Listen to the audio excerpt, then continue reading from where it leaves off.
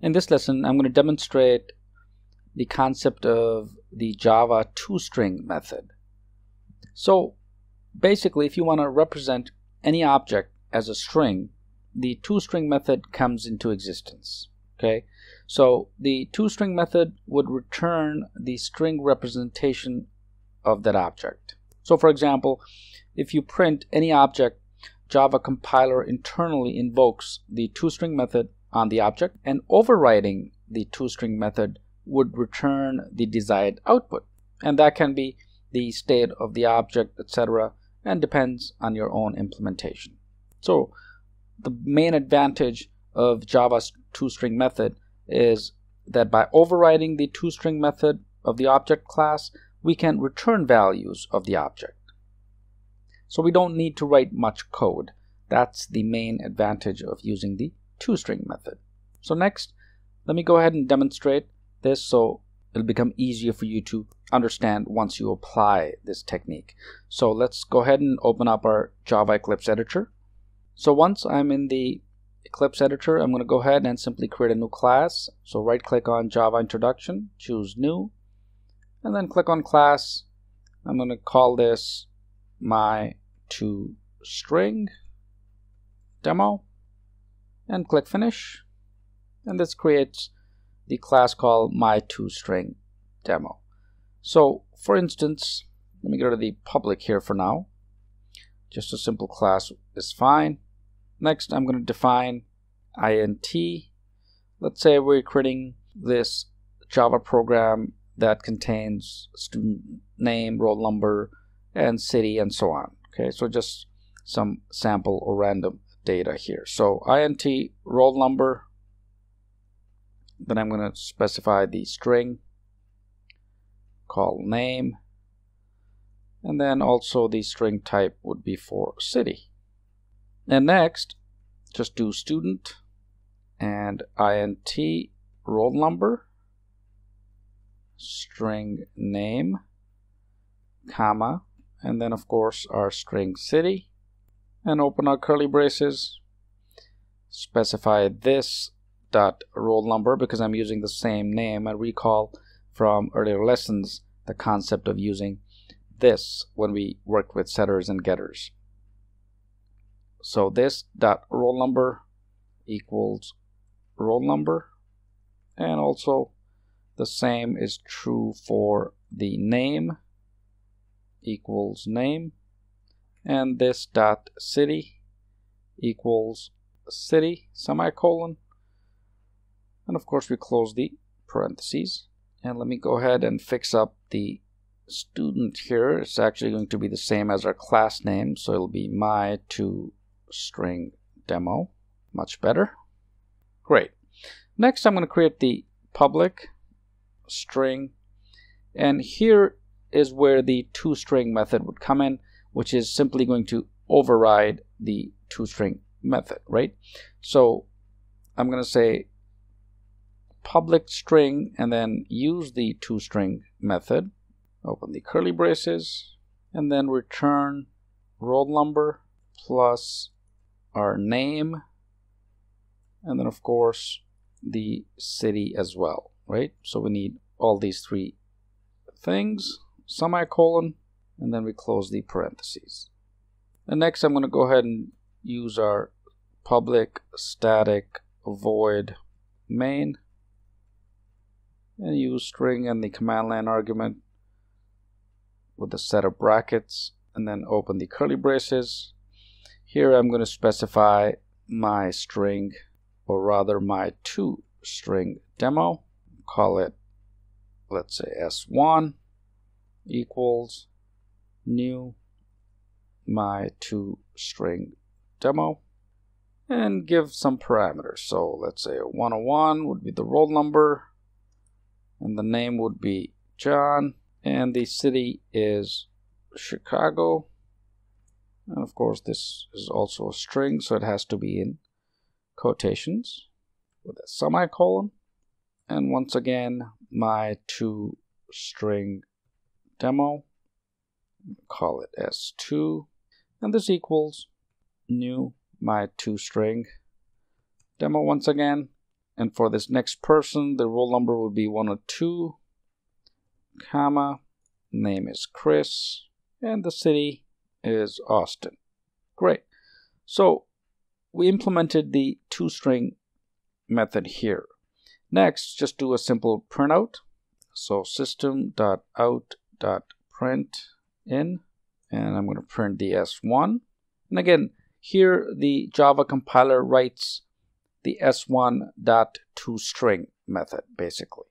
And I'm going to do the same thing with the system.out.println for S2. Great. Just fix up our syntax here. So Java recognizes that we're using the println. Same thing for the S2. Perfect. So if I were to run this program now, let me go ahead and run this so we can see the output.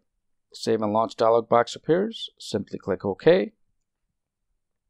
And Java outputs the result as 101 John Chicago and then 102 Chris Austin, which is exactly what we wanted. So the public toString method is here overriding the toString method itself. So once again, this method is useful and is used when we need a string representation of an object. And of course, we also defined this within this object class. We can also use the toString method within our print, right? So instead of using these variables that I specified, a couple other ways you can also write this code. So it depends, let me get rid of this. So it depends on your own implementation of the code itself. Let me in fact demonstrate another example.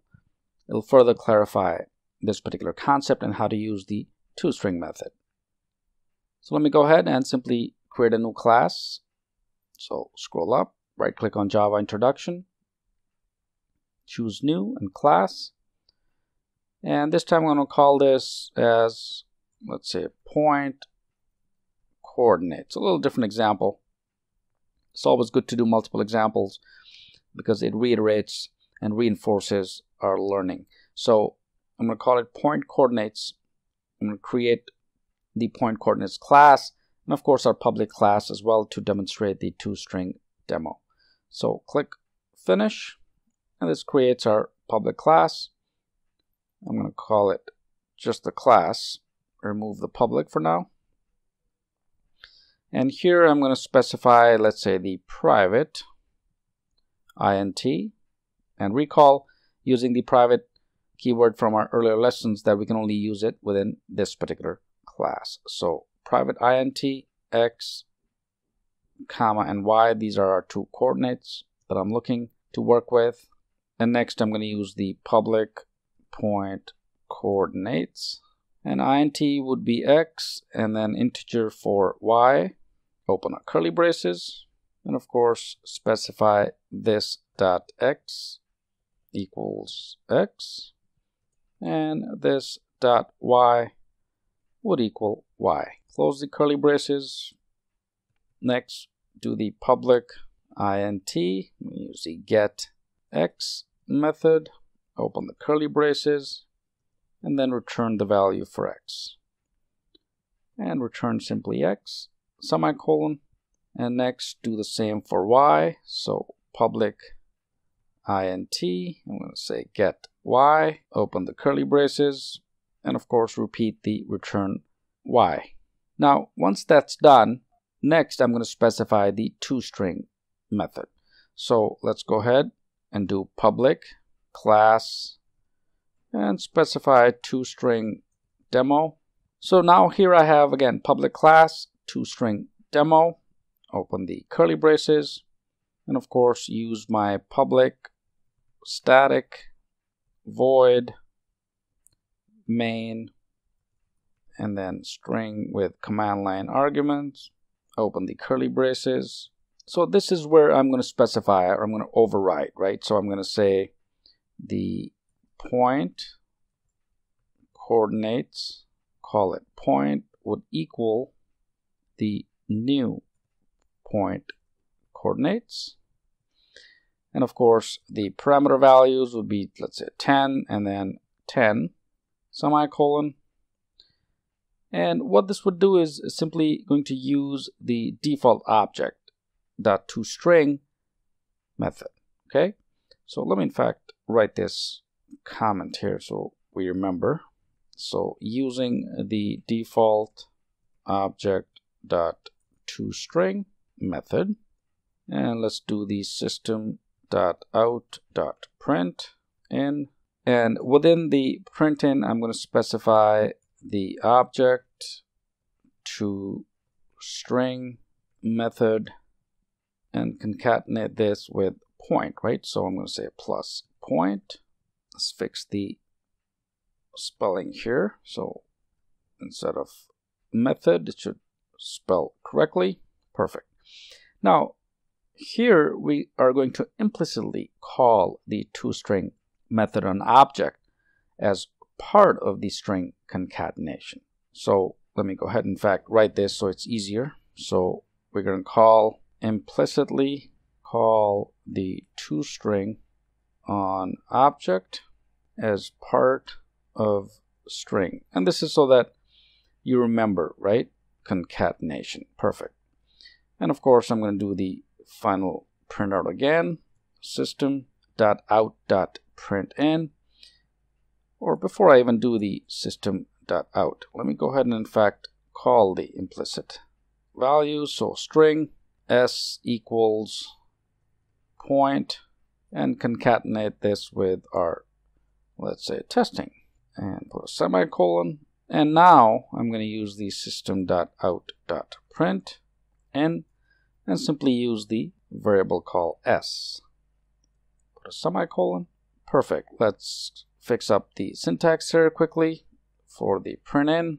So here, for example, we have the toString demo as public class, and we're also specifying the public keywords as well. And that's why Java is saying, well, wait a minute here.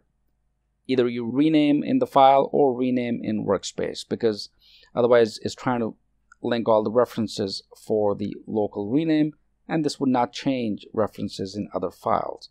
So since we have our class point coordinates defined already up above, we don't really need the public class here. Or we can remove the public static void, this line. So I'm going to go ahead and simply get rid of this and make sure we have the curly braces also removed to correct our syntax. So now our class point coordinates is complete. And of course, our public static void main string and our toString method is contained here, which is going to override with these values. So if I run this now, for example, let's take a look at the output, and that's important. So save and launch dialog box appears. Let's click OK. And notice it prints object toString method point coordinates at the following location. And the second print statement prints point coordinates at the following location with testing. And that's exactly what we're telling Java to print. The points where the coordinate 10 and 10 for x and y respectively appears.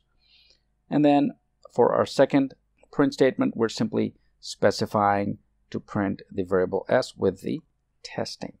Notice in both instances, the point coordinates stay the same. The values are the same in both instances. So in this way, we can use the toString method when we need a string representation of an object. So practice a couple of times with different examples and let's move to the next lesson.